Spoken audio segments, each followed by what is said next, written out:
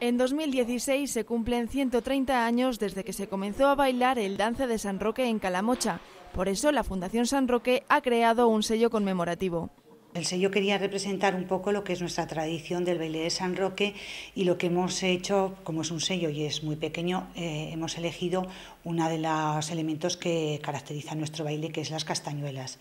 Entonces el sello lo que representa es la faja, las castañuelas y con las castañuelas los tres colores eh, representativos del baile de San Roque, que son el blanco de la vestimenta, el azul de la faja y el rojo del pañuelo.